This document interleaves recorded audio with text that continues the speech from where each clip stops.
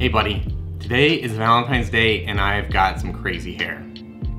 It's been a bit of a wild weekend and I have tried to make a few videos for you, but um, they just didn't quite come together. So today, I'm gonna keep today's video short and because it's Valentine's Day, I thought I'd share with you three things that I love about you. Did you just eat the sprinkle? Yeah. You silly dude. Was the cake good? Yeah. Did you help me make it? Yeah. The first thing I love getting to share adventures with you. Here's Micah eating his barbecue, holding the child. Child? Barbecue. Child. Micah. Oh, we didn't make it then. I love that I get to share what I love with you. Um, whether it's mountain biking or running, or this weekend we went to a rock climbing competition at the gym.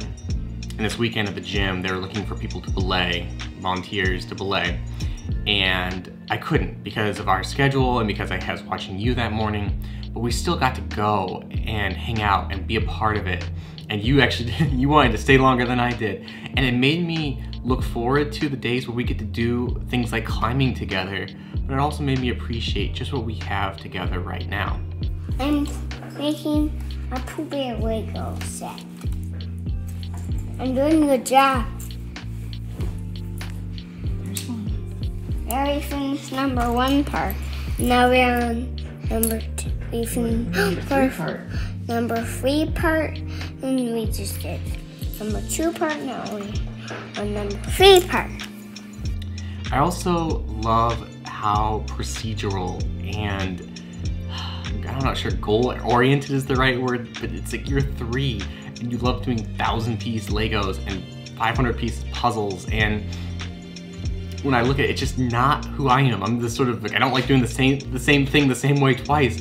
And you're just so focused and patient and you love following instructions and doing things the right way and you like knowing what the right way to do things is.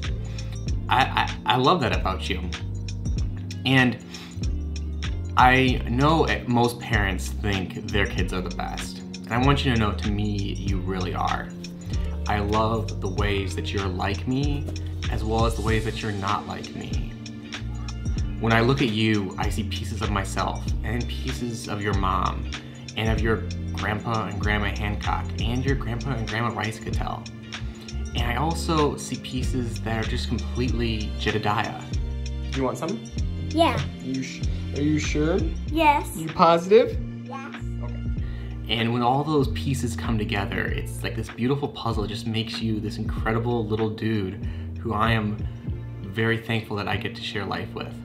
I love you, buddy. I will talk to you tomorrow.